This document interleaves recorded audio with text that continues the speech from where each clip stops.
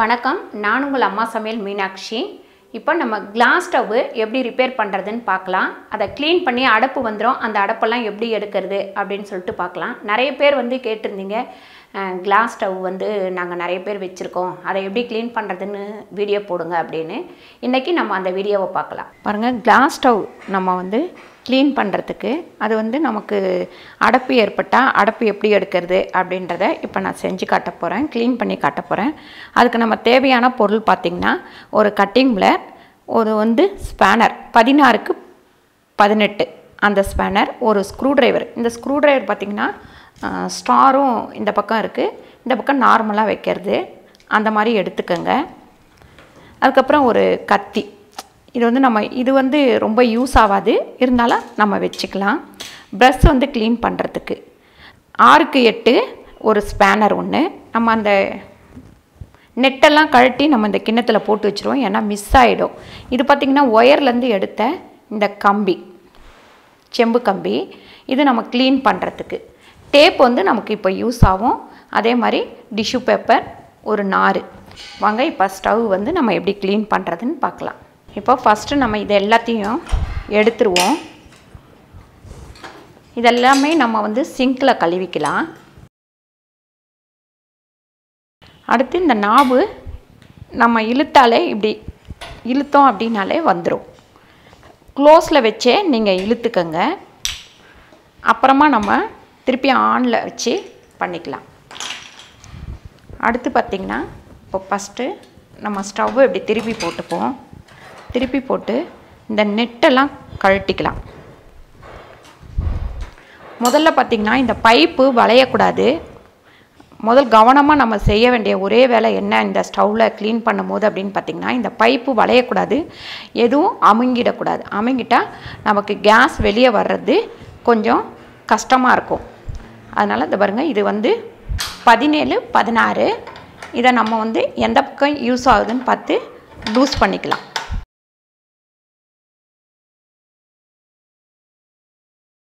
இந்த ஸ்பேனர்லாம் பார்த்திங்கன்னா ரொம்ப கம்மி ரேட்டு தான். பாருங்கள் இந்த பக்கம் பார்த்தா டைட்டு இப்போ இந்த பக்கம் லூஸ் பண்ணிக்கலாம்.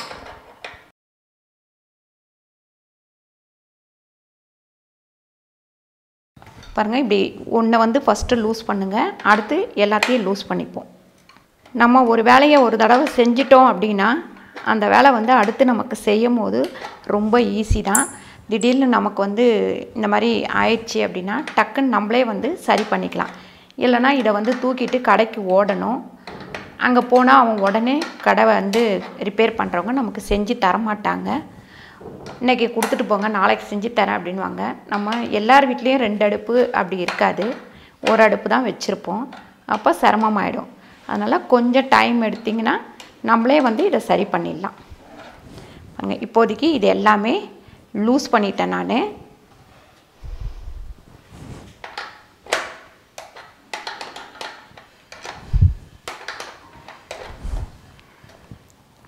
அடுத்து பார்த்திங்கன்னா இந்த ஸ்க்ரூ ட்ரைவர் வச்சு ஸ்டார் பக்கம் திருப்பிட்டேன். திருப்பிட்டு இதை நம்ம லூஸ் பண்ணிக்கலாம். இந்த ஸ்க்ரூவை எடுத்து இந்த மாதிரி கிண்ணத்தில் போட்டு வச்சுக்கோங்க. இதை லூஸ் பண்ணியாச்சு. இங்கேயும் நம்ம நல்லா லூஸ் பண்ணிக்கலாம்.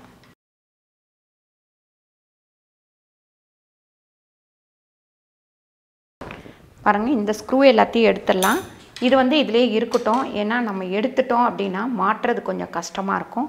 அதனால் அப்படியே இதில் இருக்கட்டும். இப்போ இந்த நெட்டெல்லாம் நான் ஏற்கனவே ரெண்டு மூணு நெட்டு கழட்டி லூஸ் பண்ணி வச்சுருக்கேன்.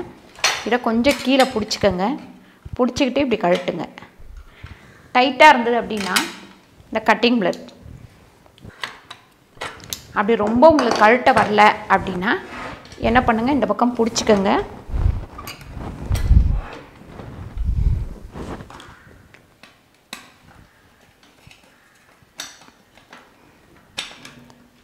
ஸ்க்ரூ ட்ரைவர்னால் இந்த நெட்டை பிடிச்சிக்கிட்டு கழட்டினிங்கன்னா உங்களுக்கு ஈஸியாக வந்துடும் இங்கே பாருங்கள் இந்த மாதிரி இந்த பக்கம் பிடிச்சிட்ருக்கேன். இந்த பக்கம் நெட்டு கழட்டி கழட்டியாச்சு.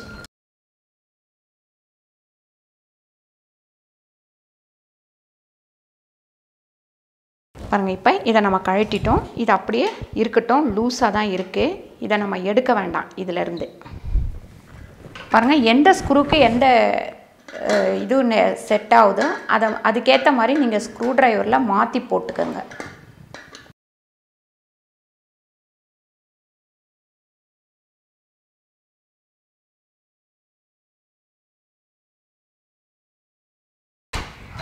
இப்போ இது செட் ஆகலை அப்படின்னா பாருங்கள் இந்த அஞ்சு ஆறு இந்த ஸ்பேனர் வந்து இதுக்கு செட் ஆகும்.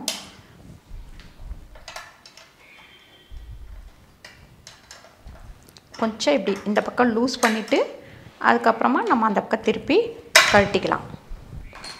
பாருங்கள் இப்போ இந்த ஸ்க்ரூவை வந்து நம்ம டைட் பண்ணி வச்சிடலாம். ரொம்ப டைட் பண்ண வேணாம். ஓரளவுக்கு கொஞ்சம் டைட் பண்ணிடணும். மறுபடியும் நம்ம மாட்டும் போது அதை லூஸ் பண்ணிக்கலாம்.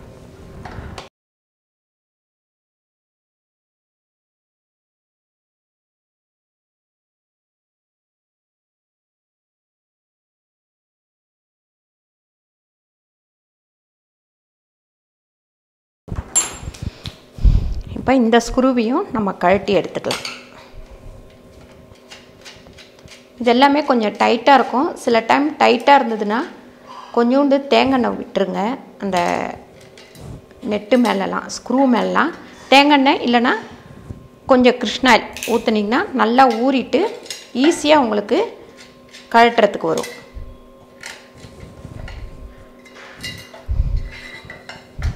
ரெண்டாவது நீங்கள் கழட்டும் போது கொஞ்சம் கவனம் வச்சுக்கோங்க. எந்தெந்த ஸ்க்ரூ எந்த இடத்துல போடணும் அப்படின்றத.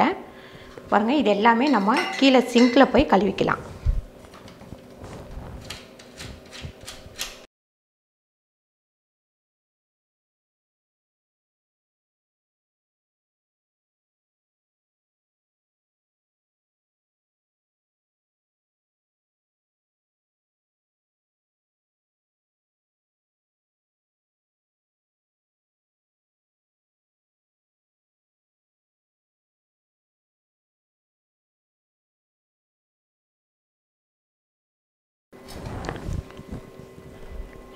இப்போ நம்ம எல்லாத்தையும் கழட்டியாச்சு.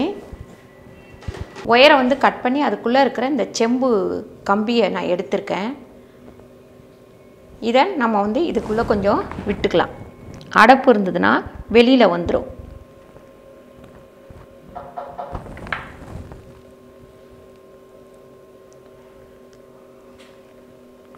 ரெண்டும் கரெக்டாக வச்சுட்டு கொஞ்சம் விட்டு க்ளீன் பண்ணிக்கோங்க.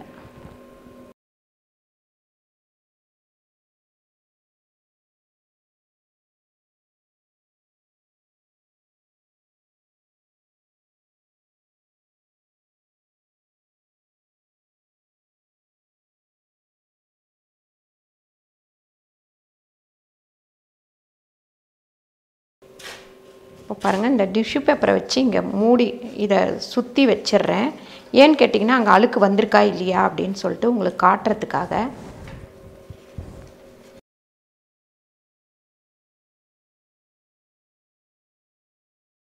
இந்த மாதிரி ஒரு பாட்டில் எடுத்துக்கோங்க. இது ஓட்டை போடுறதுக்கு பார்த்தீங்கன்னா ஒரு கம்பியை அடுப்பில் வச்சுட்டு ஓட்டை போட்டுக்கலாம். இல்லைன்னா தீ தீக்குச்சியை வந்து இதில் காமிச்சிக்கிட்டு ஒரு கம்பி சொருவுனிங்கன்னா ஓட்டை வந்துடும் இதை வந்து இதில் சொருவிடலாம். இப்படி மேலோட்டமாக இப்படி வச்சுருங்க. இதில் வந்து நம்ம கருப்பு டேப் ஒட்டிக்கலாம். காற்று போகாத அளவுக்கு. பாருங்கள் இந்த மாதிரி இது மேலேருந்து நீங்கள் டேப்பு நல்லா சுற்றிடுங்க சுற்றிட்டு நல்லா வந்து கீழே வர வரைக்கும் காற்று நம்ம அடிக்கிற காற்று வெளியில் போகாத அளவுக்கு சுற்றிடுங்க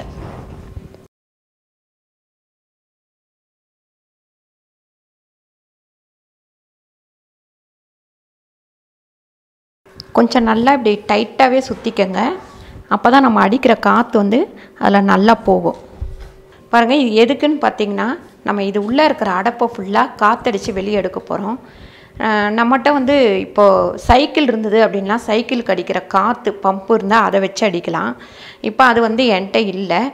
அடுத்து வந்து நம்ம பலூன் ஊதுறதுக்காக இப்போல்லாம் வந்து ஒரு மிஷின் மாதிரி வருது. அந்த மிஷின் இருந்தாலும் இதில் வச்சு அடித்தோம்னா அதில் உள்ள சின்ன சின்ன தூசி அந்த மாதிரி வெளியில் வந்துடும் என்கிட்ட இல்லாத தொட்டு இப்போ இதை நான் வந்து பண்ண போகிறேன் இந்த மாதிரி நீங்கள் அடிங்க.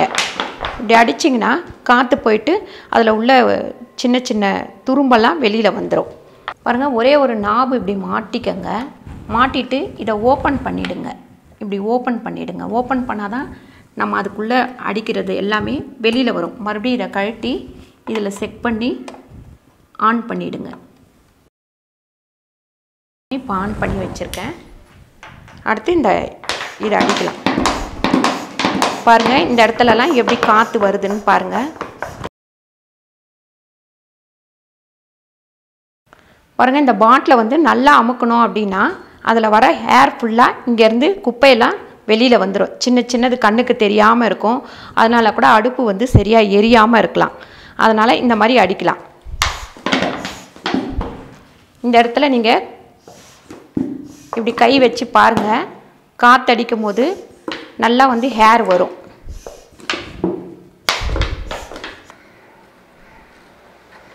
பாருங்கள் இப்படி எல்லாத்தையுமே கழட்டிட்டேன். இதில் மண் ஏதாவது இருந்ததுன்னா இதை வந்து நல்லா தட்டி விட்டுருங்க.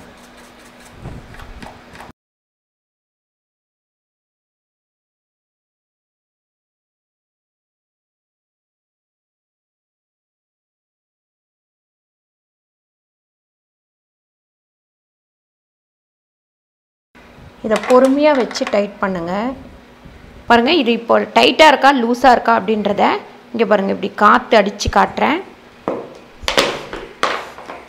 பாருங்கள் இங்கே லூஸாக இருக்குது அப்போ நம்ம இன்னும் கொஞ்சம் டைட் பண்ணணும்.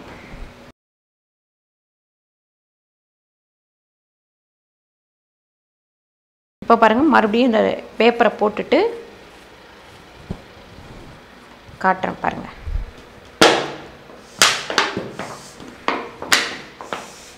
அப்போ இன்னும் கொஞ்சம் நமக்கு லூஸாக இருக்குது நம்ம இந்த மாதிரி பம்ப் பண்ணோம் அப்படின்னா இந்த இடத்துல காற்று வரணும். இங்கே வரக்கூடாது.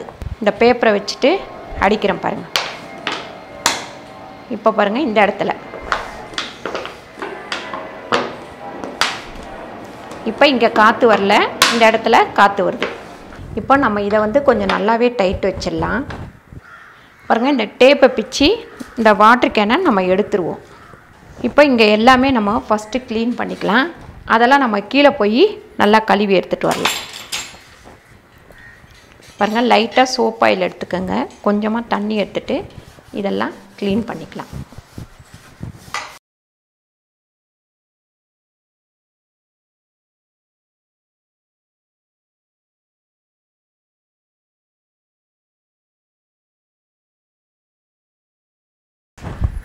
இந்த ப்ரெஷ் வச்சு கொஞ்சம் க்ளீன் பண்ணிக்கலாம். இந்த ப்ரெஷ்ஷில் கொஞ்சமாக இது பண்ணிவிட்டு இந்த இடமெல்லாம் தேய்ச்சிக்கலாம்.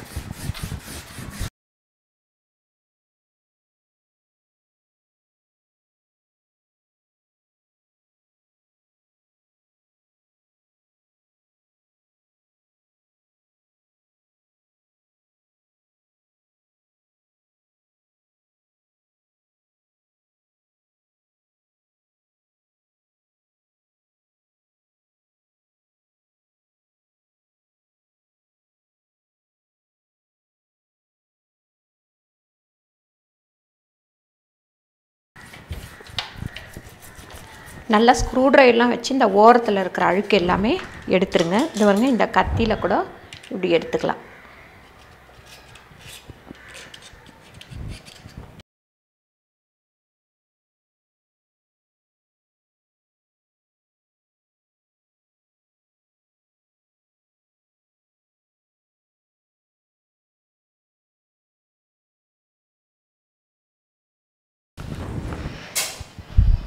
பாருங்க இப்போ ஈரத்துணியை நல்லா அலசிட்டு தொடச்சிடலாம்.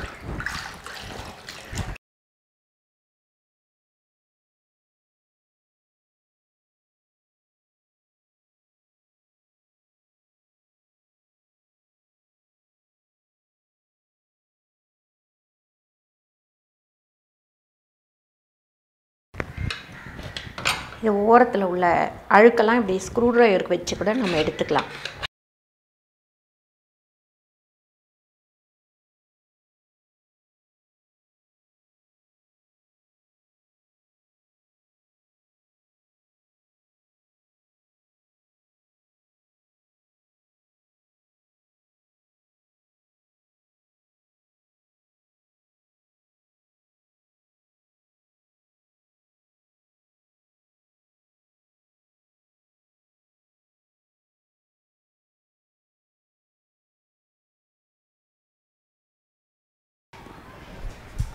பாருங்கள் இப்போ நல்லா காஞ்ச துணி வச்சு நல்லா தொடச்சிக்கலாம். பாருங்கள் ஒரு காஞ்ச துணி வச்சு தொடச்சிட்டு அதுக்கப்புறம் இன்னும் கொஞ்சம் நல்லா காஞ்ச துணி எடுத்து தொடச்சிங்கன்னா அப்படி பளிச்சுன்னு ஆகிடும் இந்த லப்பர் கூட நம்ம எடுத்துகிட்டு க்ளீன் பண்ணலாம். என்ன செக் பண்ணும்போது நம்ம கரெக்டாக செக் பண்ணணும்.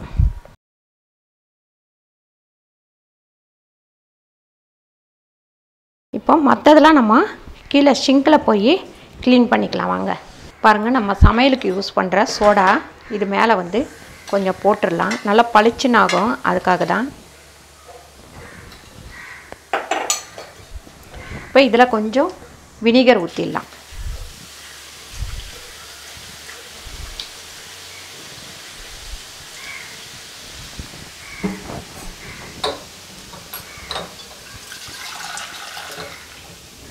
அதுக்கப்புறம் பாருங்கள் கொஞ்சம் சோப்பாயில் ஆயில் சோப் ஆயில் இல்லைன்னா நீங்கள் வந்து என்ன பாத்திரம் தேய்க்க யூஸ் பண்ணுறீங்களோ அதை வந்து நீங்கள் போட்டுக்கலாம். இது வந்து கொஞ்ச நேரம் அப்படியே நல்லா ஊறட்டும். ஊறினதுக்கப்புறம் நம்ம கழுவ ஆரம்பிச்சுக்கலாம். பாருங்கள் நல்லா ஊறிடுச்சு. இப்போ நம்ம வந்து இதை தேய்ச்சி எடுத்துக்கலாம். பார்த்திங்கன்னா இந்த பக்கம் ரொம்ப இதுவாக இருக்குது அதை வந்து இரும்பு நார் தேய்ச்சிக்கலாம்.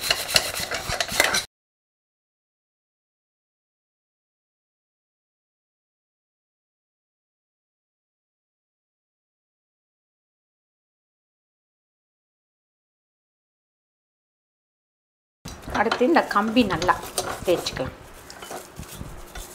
இதெல்லாம் வந்து கம்பி நாரில் தேய்ங்க அப்போ தான் கொஞ்சம் க்ளீன் ஆகும்.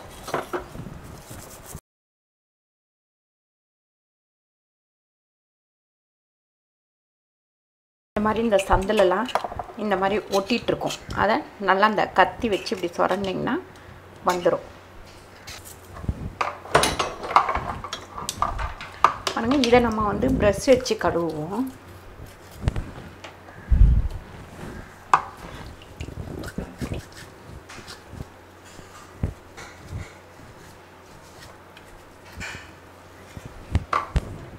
இந்த ஓரத்தில் இருக்கிறதெல்லாம் இந்த மாதிரி சுரண்டி எடுத்துருங்க.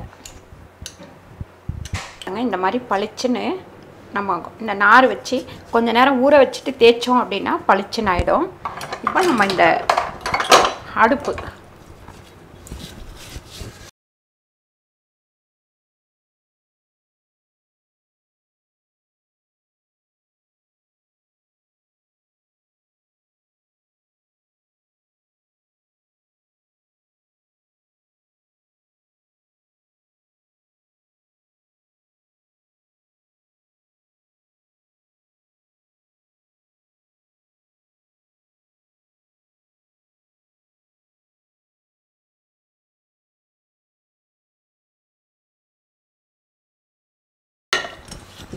பாருங்கள் இதே மாதிரி நம்ம எல்லாத்தையும் கழுவி எடுத்துக்கலாம்.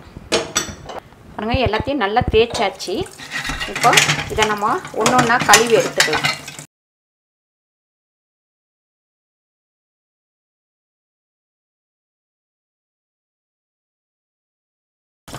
பாருங்கள் இதை இது பண்ணும்போது நல்லா ப்ரெஷரை குழாவை திறந்து விடுங்க. அந்த கேப்லலாம் ஏதாவது இருந்தால் போயிடும். இதுவும் பார்த்தீங்கன்னா இந்த இடத்துலலாம் போட்டு கழுவுங்க. அப்போ தான் உள்ளே வந்து தூசி ஏதாவது இருந்தால் நல்லா போயிடும். பாருங்க இப்போ கழுவி வச்சு இது எல்லாமே கொஞ்சம் நேரம் வெயிலில் காய வச்சிடலாம். ஒரு பத்து நிமிஷம் வெயிலில் காயட்டும் இது. பாருங்கள் ஃபஸ்ட்டு நம்ம இதை வந்து செக் பண்ணிக்கலாம்.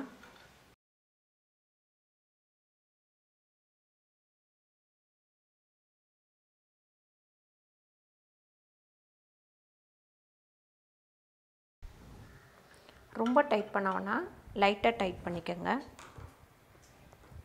அது எல்லாத்தையும் நம்ம மாட்டிட்டு அதுக்கப்புறம் நல்லா டைட் பண்ணிக்கலாம்.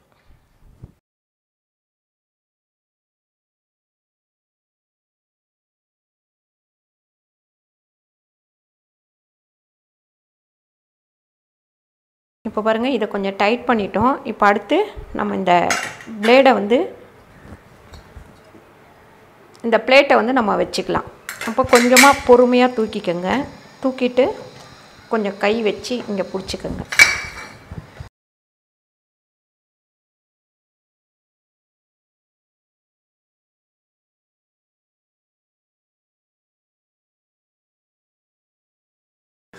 பாருங்கள் இந்த இடத்துல இந்த ஓட்டை வரும் அதை மட்டும் அந்த ஹோல்ஸ் வரும். அதை பார்த்துக்கோங்க.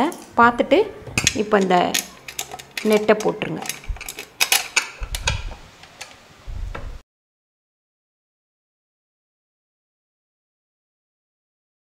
பாருங்கள் எல்லாமே கொஞ்சம் லூஸாகவே டைட் பண்ணிக்க. நம்ம லாஸ்ட்டில் வந்து கடைசியில் எல்லாத்தையும் நல்லா டைட் பண்ணிக்கலாம்.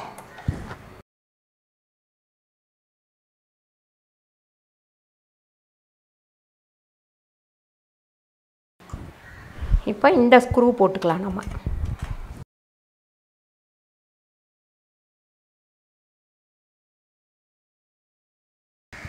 பாருங்கள் அது கடைசியில் போடுவோம். அதுக்கு அடுத்ததை போட்டுக்கலாம்.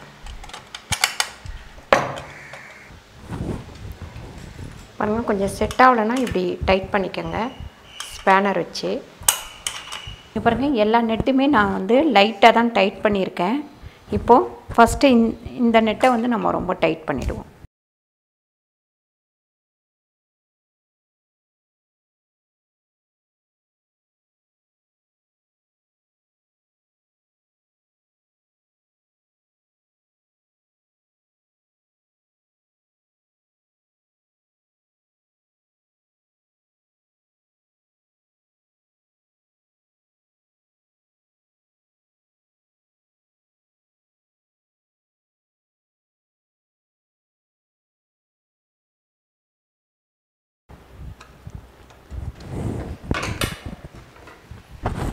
இப்போ பாருங்கள் ஸ்டார் ஸ்க்ரூவெல்லாம் டைட் பண்ணிட்டோம். இப்போ நார்மல் ஸ்க்ரூவை டைட் பண்ணிக்கலாம்.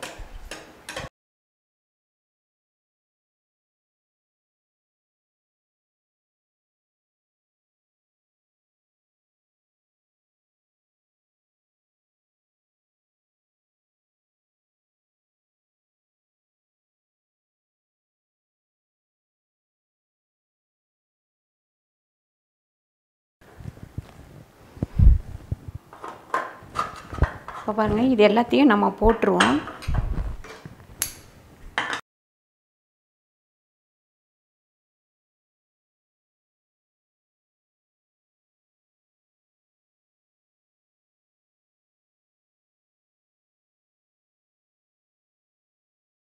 இப்போ அடுப்பை நம்ம ஆன் பண்ணி பார்க்கலாம். பாருங்க நிறைய பேர் வந்து இந்த கிளாஸ் அடுப்பு க்ளீன் பண்ணுறது எப்படின்னு சொல்லி கேட்டிருந்தீங்க. இந்த அடுப்பு கொஞ்சம் க்ளீன் பண்ணுறது கஷ்டம்தான். கூட ஒரு ஆள் இருந்தால் கொஞ்சம் ஈஸி ஏன்னா நெட்டெல்லாம் போடுறதுக்கு கொள்றதுக்கு நம்ம தனியாக பண்ணும்போது நிறைய டைம் ஒழிக்கும். அதனால் கொஞ்சம் சோம்பேதனப்படாதீங்க ஏன்னு கேட்டிங்கன்னா இது நம்ம க்ளீன் பண்ணும்போது நம்மளே க்ளீன் பண்ணும்போது எல்லாமே வந்து பக்காவாக பண்ணிக்கலாம். இதை கொண்டு போய் சர்வீஸ் கொடுக்கணும் அப்படின்னா ஏழ்நூற்றம்பது ரூபா. அவங்க ஒன்றும் பண்ண போகிறதில்ல இப்போ நான் பண்ண அதே மாதிரி தான் பண்ண போகிறாங்க இப்போ நம்ம அடுப்பை ஆன் பண்ணி பார்த்துக்கலாம்.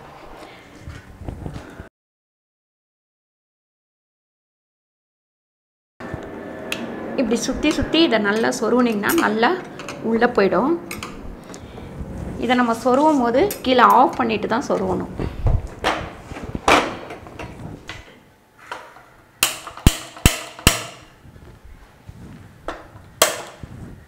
பாருங்கள் இந்த அடுப்பு நல்லாவே எரியாமல் இருந்தது. இந்த ரெண்டு அடுப்பு ரொம்ப சின்னதாக எரியும். அதனால தான் இன்றைக்கி நான் வந்து நல்லா க்ளீன் பண்ணுறதுக்காக பண்ணேன். இப்போ பாருங்கள் எல்லா அடுப்பும் சூப்பராக எரியுது.